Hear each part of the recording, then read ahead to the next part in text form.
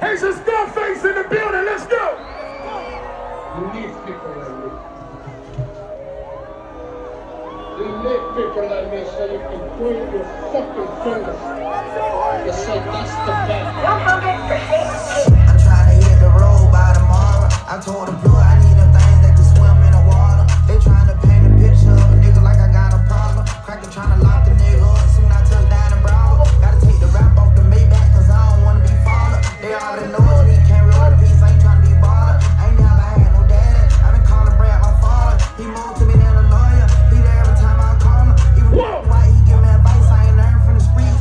time to